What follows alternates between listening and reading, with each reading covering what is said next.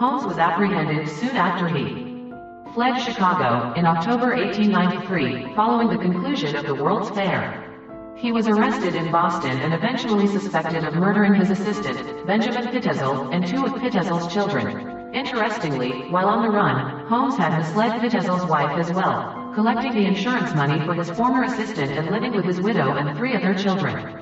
Police eventually discovered the body of one of the murdered children, and this discovery led to Holmes' arrest. Following his arrest, Holmes claimed to have killed more than 200 people in his murder castle.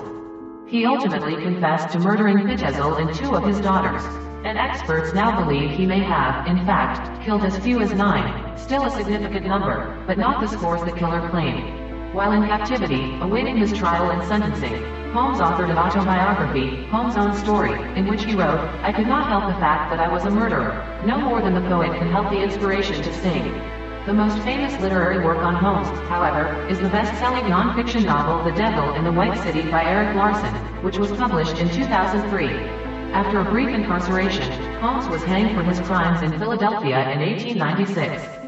His body is buried in Holy Cross Cemetery outside the Pennsylvania City. What happened to the murder castle? Despite Holmes' arrest and execution, rumors have persisted for more than a century that the serial killer bribed authorities to avoid punishment. The theory suggests that Holmes was allowed to escape and that officials hanged another man. In response to these rumors, in March 2017, Holmes' descendants, who live in Delaware, petitioned to have his remains exhumed so that they could undergo DNA testing.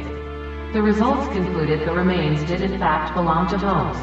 Meanwhile, the fate of the site of the killer's exploits is also shrouded in intrigue with Holmes, allegedly, safely ensconced in prison. In 1895, the murder castle was gutted by fire, after witnesses reportedly saw two men entering the building late one night. The building itself remained standing until 1938, when it was torn down.